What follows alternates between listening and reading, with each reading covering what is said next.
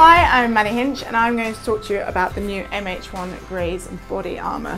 What I really, really like about this product is the lightweight feel of it. Essentially, it's been designed to fit super tight to my body, it's soft and comfy and it just stays fitted to me when I'm playing and when I'm moving. So this wraparound system and strap system allows me kind of to lock into it. It just brings this bit nice and tight and kind of pull it as tight as you need. And so I'm able to just move without the body armor kind of moving with me. Once I'm locked in, I'm locked in and that's kind of it until I take it off. What I also really like is how we've created this shoulder protection. So we've got the shoulder cap, but also the bicep protection in and around what the biceps. So essentially, even when the elbow guard is added, there's full protection from wrist all the way up to the top of the shoulder.